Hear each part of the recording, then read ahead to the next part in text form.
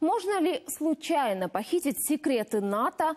Что делать, если в машине с вами решил проехаться гепард? И чью мечту исполнил Папа Римский? Об этом не только в нашем обзоре.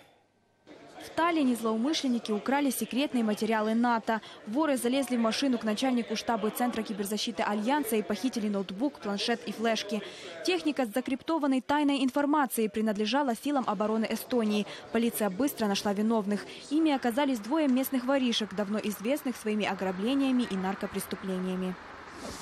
Древнее индейское захоронение обнаружили археологи под водой в Мексиканском заливе, недалеко от берегов американской Флориды. Находки около 7 тысяч лет. Благодаря песчаному дну останки и предметы, даже деревянные детали, хорошо сохранились, говорят археологи. В этом районе на дне залива находится не одно захоронение американских аборигенов, поэтому заплывать дайверам сюда запрещено.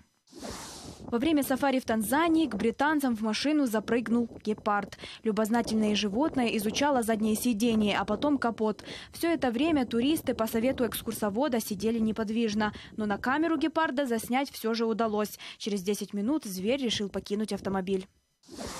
Папа Франциск прокатил на папомобиле мальчика с синдромом Дауна. Он увидел 12-летнего Питера в толпе во время еженедельной аудиенции в Ватикане. Понтифик пригласил мальчика к себе в машину и подарил корону из воздушных шариков. Как оказалось, Питер уже три года мечтал увидеть Папу Римского, но из-за того, что он боролся с лейкемией, мечта осуществилась только сейчас. В бельгийском городке Дюрбюи фестиваль шоколада. Скульпторы со всего мира создали полсотни гигантских фигур из известного бельгийского лакомства. Всего здесь более 43-метровых горилл, слонов и фламинго. Гостей фестиваля приглашают полакомиться шоколадными напитками и макарунами, а детей учат вырезать статуи из шоколада. По всей территории фестиваля текут сладкие реки и установлены шоколадные фонтаны.